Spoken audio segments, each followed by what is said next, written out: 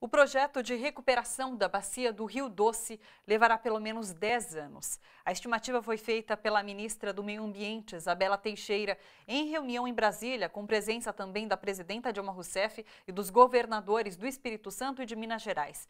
O encontro discutiu medidas para reverter os estragos provocados pelo rompimento da barragem da Samarco, em Mariana, principalmente a revitalização do Rio Doce.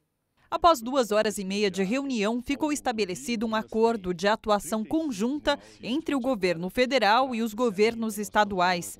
A presidenta Dilma disse que esta é a única forma de responder à população que foi atingida de uma forma positiva. Essa é uma questão que, para nós, para nós, para o governo federal, para os estados, é uma questão que é muito importante, porque a partir daí, nós podemos dar um exemplo de ação federativa no sentido de recuperação de uma das mais importantes bacias hidrográficas do sudeste do Brasil. As medidas do plano de recuperação do Rio Doce ainda serão debatidas pelo Ministério do Meio Ambiente junto às procuradorias de cada estado. O abastecimento de água do município de Colatina, no Espírito Santo, foi interrompido na madrugada desta quarta-feira. A previsão do Serviço Geológico do Brasil é que a lama contaminada da mineradora Samarco chegue a Colatina nesta quinta-feira.